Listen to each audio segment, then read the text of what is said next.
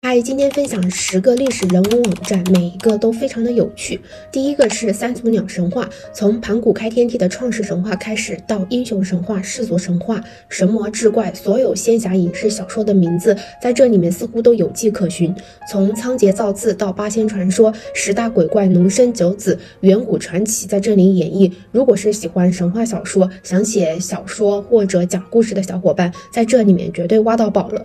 第二个是天下老照片。一个聚合了各式老照片的网站，有清朝、民国不同时期的，也可以根据地理位置选择照片分类，也有国外历史风尘的岁月，比如点击上海就会看到曾经的上海黑帮。黄金荣的故居样子，豫园、南京东路、法华塔，各地不同的样子。第三个是光明之门，听这个名字似乎就有种光明顶决战的感觉。里面涵盖了古字画、旧书籍、老照片、原视听，其中老照片也演绎着诸多的精彩。西域考古图、神佛在中国、敦煌石窟。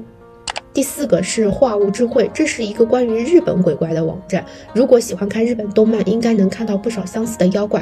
比如我很喜欢《项目有人帐》，就能发现里面有的妖怪跟这里面网站里面的妖怪长得都挺像的。第五个是《三体》，一个跟《三体》有关的网站，书里面那些熟悉经典的字眼，在这里面都能看到。也许注册了能发现更多有趣的东西，但是我觉得有点麻烦，就没有注册过，仅限里面的主页内容探索。第六个是唐诗别院，汇聚的都是唐诗，但是它的搜索比较特别，比如李白的作品，写给李白的诗，适合小学生。背诵的诗，你也可以自定义，比如写梅花的诗、二十四节气的诗歌，任意你想的主题都能在这里面直接搜索。第七个是丝绸之路历史地理信息开放平台，首都师范大学历史学院的科研成果有时空框架、虚拟地球、历史图库，不管是历史学的爱好者，或者是这方面研究的学生或者老师，都值得好。好的，看看这个网站，作为科研成果，其专业性是可以保证的。